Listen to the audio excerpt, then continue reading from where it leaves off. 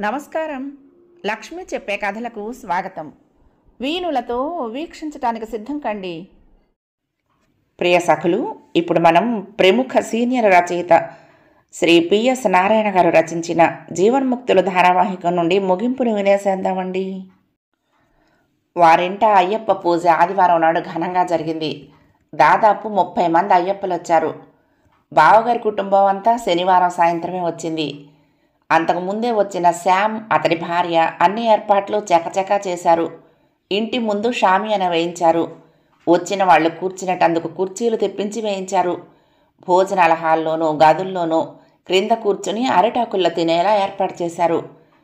తొమ్మిది గంటలకు ప్రారంభమైన పూజ పూర్తయ్యేటప్పటికి పన్నెండు దాటింది. ఆ కార్యక్రమం జరుగుతున్నంతసేపు పార్థసారథి పట్టుబట్టలు కట్టుకొని తన్మయంగా స్వామిని చూస్తూ బాసుకు పట్ట వేసుకుని ఓ పక్కగా కింద కూర్చున్నాడు. శరణు ఘోష ఇల్లంతా ప్రతిధ్వనిస్తూ ఉంటే ఆయన కళ్ళల్లో వెలుగును చూస్తూ కనకదుర్గ ఎంతగానో ఆనందించింది. అయ్యప్పలు లేచి నిలబడినప్పుడల్లా పార్థసారథి మరెవరూ చెప్పకుండానే లేచి నిలబడుతున్నాడు. సాష్టాంగ నమస్కారాలు చేస్తున్నాడు. హారతిని కళ్ళకద్దుకున్నాడు తీర్థ ప్రసాదాలు స్వీకరించాడు. పూజ అయి భోజనాలకు కూర్చోబోయే ముందు శ్యామ్ దంపతుల చేత గురుస్వామికి పూజారి మణిగారికి ఖరీదైన పట్టుబట్టలు ఇప్పించింది తనైతే భర్తతో కలిసి వారి ముందు నిలబడి నమస్కరిస్తూ ఘనంగా దక్షిణ ఇచ్చింది అయ్యప్పలతో పాటే కింద కూర్చుని అరిటాకులో కావలసినవి అడిగి వేయించుకుంటూ భోజనం చేశాడు పార్థసారథి. భర్తను అలా చూస్తూ ఎంతగానో సంబరపడిపోయింది కనకదుర్గ. తను ఏదైతే పొందాలని ఈ పూజ తనింట ఏర్పాటు చేసిందో అది నెరవేరింది. ఇంకా ఇంకా ఈ ఇంట వివిధ దేవుళ్ళకు పూజలు జరిపించాలి. భర్త వాటిల్లో మామేకం అవ్వాలి అనుకుంది. ప్రకాశరావు ఆమె బావగారితోనే కూర్చొని కబుర్లలో పడ్డాడు. వాళ్ళ పక్కనే పార్థసారథి మిత్రుడు డాక్టర్ గురునాథం కూర్చున్నాడు. ఇప్పుడు కనకదుర్గకు ఆయన చూస్తూ ఉంటే ఎలాంటి యావగింపు నిర్లక్ష్య భావన కలగటం లేదు. ఆయనతో పాటు కుటుంబ సభ్యులంతా వచ్చారు. అందరినీ సాదరంగా ఆహ్వానించింది కనకదుర్గ. డాక్టర్ కిరీటి కుటుంబాన్ని ఆహ్వానించింది కానీ వాళ్ళకున్న పనులతో రాలేకపోయారు.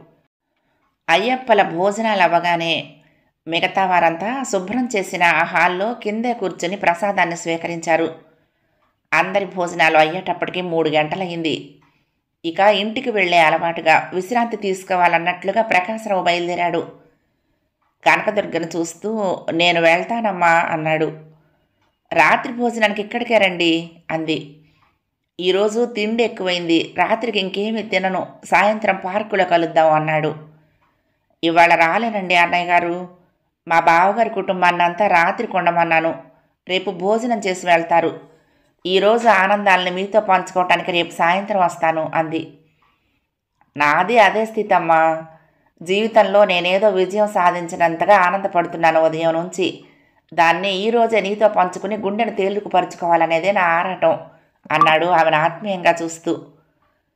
ఇంతమందిని ఇంట్లో వదిలి రావడానికి ఈరోజు ఇబ్బంది అవుతుందేమో రేపు తప్పకుండా వస్తాను ఏమీ అనుకోవద్దు అంది కనకదుర్గ. నీ ఇష్టం అమ్మా నేనెవ్వరిని ఏ విషయంలోనూ ఒత్తిడి చెయ్యను. ఏ రోజు ఆనందాన్ని ఆ రోజే ఆస్వాదించడంలో ఉన్న తీయదనం తర్వాత దొరకకపోవచ్చు అన్నాడు నవ్వి. కనకదుర్గ మాట్లాడలేకపోయింది కానీ సాయంత్రం పార్కుకు వెళ్ళటానికి ఏమాత్రం వీలు పడదనే అనుకుంది. గేటు పక్కగా పెట్టి ఉన్న కారులో ఎక్కి బయలుదేరుతూ రెండు చేతులు జోడించి సెలవు అన్నాడు బయటకొచ్చిన అందరితో ప్రకాశరావు. మరునాడు ఉదయం తొమ్మిది గంటలప్పుడు కిరీటి నుండి కాల్ వచ్చింది కనకదుర్గకు. చెప్పండి డాక్టర్ గారు మీరు నిన్న రాలేదు అంది. అరగంట క్రితం బాబాయ్ పోయారా ఆంటీ? కిరీటి కంఠం దుఃఖంతో తడిసి ముద్దవుతున్నది. అదేమిటి? గుండె దడదడలాడుతూ ఉండగా గొల్లుమన్నది. అయ్యో ఎంతటి దుర్వార్త విన్నాను? అంది పెద్దగా రోదిస్తూ ఇంట్లో ఉన్న బావగారి కుటుంబ సభ్యులంతా ఆమె చుట్టూ చేరారు. ఏమైంది? ఏమైంది? అంటూ ఆదుర్దాగా. మీరు వెంటనే బయలుదేరి నిమ్సుకు రావాలి. రెండు గంటలకు మించి బాడీ మనకు అందుబాటులో ఉండదు అన్నాడు. కనకదుర్గకు నోరు పెగలటం లేదు. ఎట్లా పోయారు? ఇంత అకస్మాత్తుగా ఏమైంది? అంది గొంతును పెగల్చుకుంటూ. Heart attack. ఏడు గంటలప్పుడు వెంటనే రారా అంటూ మూలుగుతూనే ఫోన్ చేశాడు. కారు తీసుకుని హడావుడిగా వెళ్ళాను. అప్పటికే బాబాయ్ అపస్మారక స్థితిలో ఉన్నాడు. ఏమైందో అర్థమైంది. వెంటనే నిమ్సుకు తీసుకొచ్చాను. లోపలికి తీసుకువెళ్తూ ఉండగానే ప్రాణం పోయింది. అతడు దుఃఖాన్ని ఆపుకోలేకపోతున్నాడు. కనకదుర్గ తల కొట్టుకుంటూ నేల మీద కూర్చొని ఏడుస్తూ ఉంటే రాఘవ ఆమె చేతిలోని సెల్లును లాక్కుని చెప్పండి ఏమైంది? అడిగాడు. మా బాబాయ్ ప్రకాశరావు గారు అరగంట క్రితం పోయారు. బాడీ నిమ్స్లో ఉంది. కనకదుర్గ గారిని వెంటనే తీసుకొని రండి. బాడీని మరొక గంట రెండు గంటలకు మించి ఇక్కడ ఉంచరు అని చెప్పాడు. వారింటికి తీసుకురావటం లేదా? అడిగాడు రాఘవ. ఆయన అవయవాలను దానం చేశారు. వాటిని తీసే కార్యక్రమం మొదలుపెట్టారంటే ఇక చూసే అవకాశం ఉండదు అంటూ ఫోన్ ఆఫ్ చేశాడు కిరీటి. కనకదుర్గను ఓదార్చడం ఎవరి తరము కావటం లేదు. నా బ్రతుక్కి అన్నయ్య గారే మార్గదర్శి. ఆయన లేకుండా నా జీవితానికి వెలుగెక్కడుంది ఆమె కింద పడి దొర్లుతున్నది ఏడుస్తూ నెత్తికొట్టుకుంటూ. దీక్షలో ఉన్న శ్యామ్ తప్ప మిగతా ముగ్గురు పిల్లలు బావగారు ఆసుపత్రికి బయలుదేరారు కనకదుర్గం తీసుకుని. నిన్న అన్నయ్య గారు పదే పదే నన్ను పార్కుకు రమ్మన్నారు. నేనే వెళ్ళలేకపోయాను. ఎంత తప్పు చేశానో ఇప్పుడు అర్థమవుతున్నది. ఆయన మహాజ్ఞాని. ఆయనకు ముందే తెలుసు పోతాడని. మన ఇంటి నుంచి కారులో బయలుదేరుతూ అందరికీ నమస్కరించి సెలవు అన్నారు. ఆ జ్ఞానాన్ని అందరూ పొందలేరు. నా బట్టిబురకు ఎక్కనే లేదు. ఆయన నన్ను పార్కుకు రమ్మనటంలోని ఆంతర్యం నాకు తెలియలేదు. కించిత్తు ఎక్కినా వెళ్ళి చివరిసారిగా ఆయన్ని చూసి ఆయన మాటలు వినేదాన్ని రోధిస్తూనే అంది కనకదుర్గ. కారులో ఉన్న అందరికీ తెలుసు ఆమెలో అంతగా మార్పు రావడానికి ఆయనే కారణమని. వాళ్ళు వెళ్ళేటప్పటికే ఆ శవాన్ని ఉంచిన గది ముందు గుంపులు గుంపులుగా జనం ఉన్నారు. వాళ్ళంతా ఆయన బంధువులు ఆత్మీయులు అభిమానులు. ఒక మనిషిని అంతమంది ప్రేమించడం అరుదే. అందరూ విషన్న వదనాలతో నిలిచిని ఉన్నారు. కనకదుర్గ కిరీటిని చూస్తూనే అతని రెండు చేతుల్ని పట్టుకుని ఆ దేవుడు ఎందుకు చేశాడు ఈ పనిని? ఆయనకు మా అన్నయ్య కావాల్సి వచ్చాడా? నేను చేసిన పాపం ఏమిటి? అంటూ ఎక్కుపెట్టి ఏడవసాగింది ఆమెను చూస్తుంటే అతడికి దుఃఖం ఆగటం లేదు. డిఎస్పి కిరీటి తమ్ముడు హడావుడిగా తిరుగుతున్నారు. ఎవరెవరికో ఫోన్లు చేస్తున్నారు. కిరీటి హైదరాబాద్లో మంచి పేరున్న సైక్రియాట్రిస్ట్ అవ్వటంతో ఆసుపత్రిలోని పెద్ద పెద్ద డాక్టర్లంతా అక్కడికి వచ్చారు ఆ వార్త వింటూనే ఇందుమతి భర్తను తీసుకుని ఫ్లైట్లో బయలుదేరింది. ఆయన కొడుకులిద్దరూ అమెరికా నుంచి బయలుదేరుతున్నారు కానీ రాగలిగేది మరునాడే. అంతవరకు ఆ శరీరాన్ని అలా ఉంచలేరు.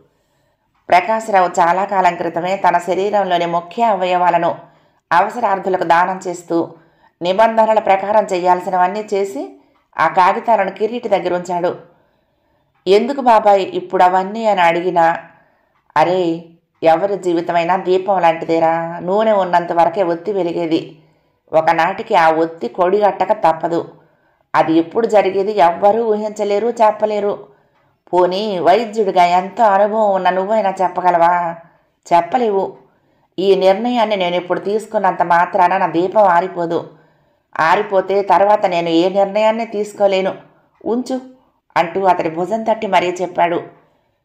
శరీరాన్నే కాదు ఆస్తుల్ని కూడా ఏం చేయాలో ముందు చూపుతో విల్లు రూపంలో వివరంగా రాశారు. ప్రకాశరావు పోయిన రెండు రోజులకు వచ్చిన కొడుకులు ఐదో రోజు నుంచి కర్మ మొదలుపెట్టారు. వచ్చినప్పటి నుంచి చెల్లెలు ఇందుమతి కుటుంబంతో సహా అక్కడే ఉండిపోయింది. ఆ రోజు పన్నెండో రోజు అవటంతో బంధుమిత్రులు చాలామంది వచ్చారు. హాల్లో భార్య సరస్వతి ఫోటో పక్కగా దండ వేసి ఉంచిన ఆయన ఫోటోను పెట్టారు. ఆ ఆవరణలోనే పూచిన పూలతో శ్రద్ధాంజలి ఘటిస్తూ ఆయనను స్మరిస్తూ భోజనాలు చేశారు వచ్చిన వాళ్ళంతా. నాలుగు గంటలకు ఆశీర్వచన కార్యక్రమం ప్రారంభమైంది. మా కుటుంబాలోని ఒక తరం మనిషి మమ్మల్ని అందరినీ దుఃఖసాగరంలో ముంచి వెళ్ళిపోయాడు. కిరీటి ఆయన కొడుకుల ముందు కూర్చుని ఉన్నాడు. అప్పుడే పండితుల వేద పఠనం ఆశీర్వచనాలు అయిపోయాయి. పుట్టిన ప్రతివాడు పోక తప్పదని తెలిసినా వాళ్ళు పోతూ మిగిల్చిన విషాదాన్ని తట్టుకోలేకపోతున్నాం. అందున బాబాయ్ లాంటి మనిషిని కోల్పోవటం మా కుటుంబాలకు తీరని లోటే.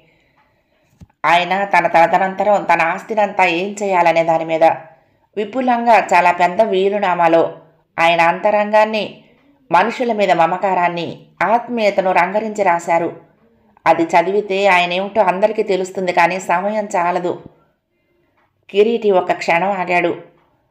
ప్రకాశ్రావు కొడుకుల వెనకాల కోడళ్ళు పిల్లలు కూర్చుని ఉన్నారు. ఓ పక్కగా ఇందుమతి ఆమె భర్త కూర్చున్నారు. ఆమె పక్కగా కనకదుర్గ కూర్చుంది. కాస్తంత దూరంలో పార్థసారథి కళ్ళు మూసుకుని మౌనంగా తపస్సు చేసుకుంటున్న మునిలా కూర్చున్నాడు. ఆయన పక్కన ఆయన స్నేహితుడు గురునాథ్ ఉన్నాడు.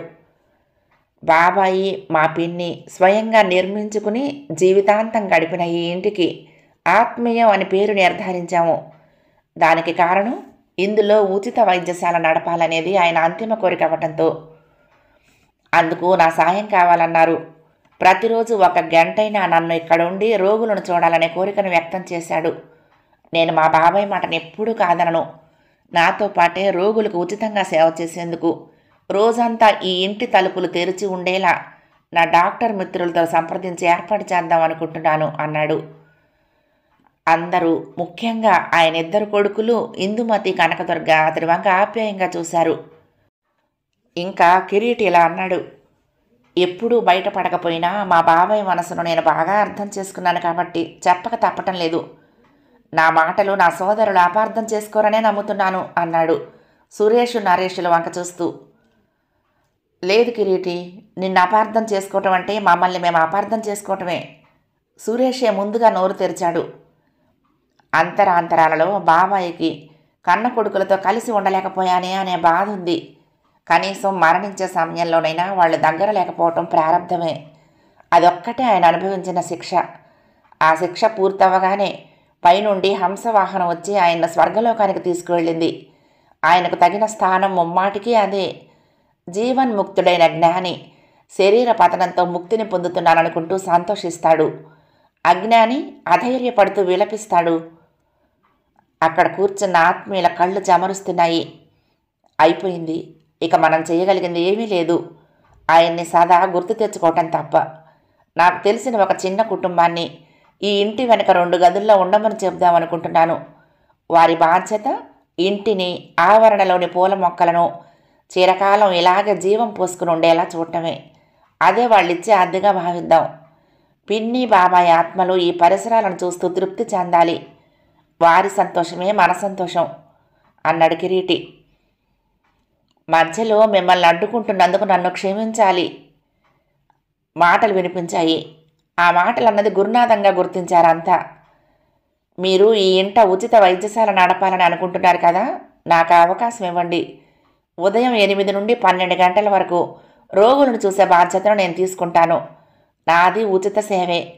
బీదలకు సాయం చేయటమే కాదు ఓ మంచి వ్యక్తి మనసులోని ఆలోచనలకు కార్యరూపం ఇవ్వటము దేవుడికి చేసే సేవగానే భావిస్తాను అన్నాడు గురునాథం.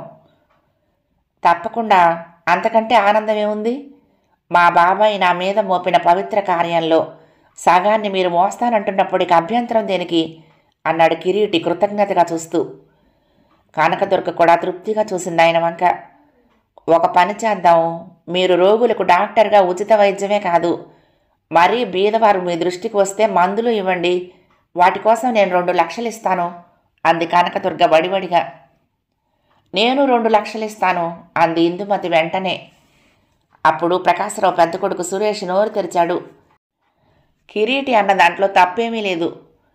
నాన్న అనుభవించిన మానసిక క్షోభకు మేం బాధ్యులం కాదని మేము అనలేం. ఆ పాపాన్ని ప్రక్షాళన చేసుకోవటానికి కాకపోయినా మా ఆత్మతృప్తి కోసం మా నాన్న మనసులోని కోరిక నిర్విఘ్నంగా కొనసాగేలా మేమిద్దరం చేరొక పది లక్షలు కిరీటికి అందుబాటులో ఉంచుతాం. ఏరా తమ్ముడు ఏమంటావు? అన్నాడు పక్కన కూర్చున్న తమ్ముడు సురేషం చూస్తూ. తప్పకుండా అన్నయ్య. నాన్న తర్వాత నువ్వే నాకు నాన్న లాంటి వాడివి. నీ మాటే నాకు వేదవాక్కు అన్నాడు సురేష్. కిరీటి చిన్నగా నవ్వాడు. బాబాయ్ మీద మీకున్న ప్రేమ నాకు తెలుసు. మీ నిర్ణయం చాలా ఆనందంగా ఉంది. నేను దేన్ని గుప్తంగా ఉంచడం నాకు ఇష్టం లేదు. ఆయన స్వార్జితమే కొన్ని లక్షలు డిపాజిట్ల రూపంలో ఉన్నాయి. వాటన్నింటికీ ఇక్కడ ఉన్న నన్నే నామినీగా చేశాడు. మొత్తం ఎంత ఉన్నదో చూసి మీకు చెప్తాను. దాన్ని ఏ విధంగా సద్వినియోగం చేయగలమో ఆలోచిద్దాము. నలుగురి మాటే నా మాట అన్నాడు కిరీటి. సరిగ్గా అప్పుడే తొమ్మిదో తరగతి చదువుతున్న ఇందుమతి కూతురు వాళ్ళ మధ్య నుంచి లేచి ప్రకాశ్రావు ఫోటో దగ్గరికి వెళ్ళి ఆయన పాదాల మీద చేతులు వేస్తూ మావయ్య నేను మెడిసిన్ చదివి నా జీవితాంతం ఈ ఇంట్లోనే రోగులకు ఉచిత వైద్యం చేస్తానని మీకు వాగ్దానం చేస్తున్నాను. నన్ను దీవించండి అంది వినయంగా తల వంచుకుని. ఆ హాల్లో కూర్చున్న అందరూ ఆ అమ్మాయి వంకే కళ్ళు పెద్దవి చేసుకుని విభ్రాంతిగా చూస్తూ ఉండిపోయారు. నవల సమాప్తం.